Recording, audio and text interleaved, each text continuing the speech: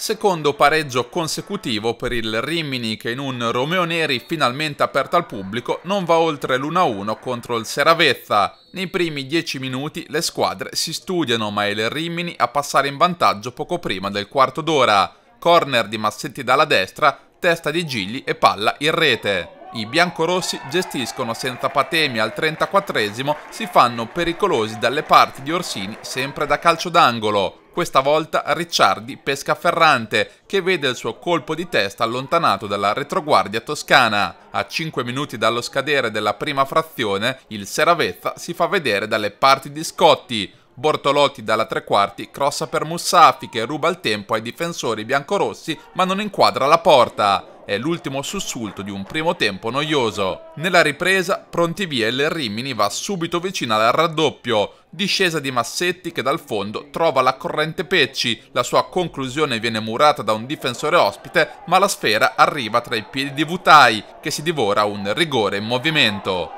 Come nel più classico dei copioni, gol sbagliato, gol subito. Al 63esimo, pareggio del Seravezza con Grassi, abilissimo a sfruttare un velo di Veratti a fulminare Scotti con un rasoterra millimetrico. Nel Rimini entrano Nigretti, Lugnan, Ambrosini e Casolla e nell'ultimo dei 5 minuti di recupero è proprio Casolla ad avere sui piedi il gol vittoria, ma la sua girata dall'interno dell'area piccola trova la miracolosa deviazione del portiere ospite.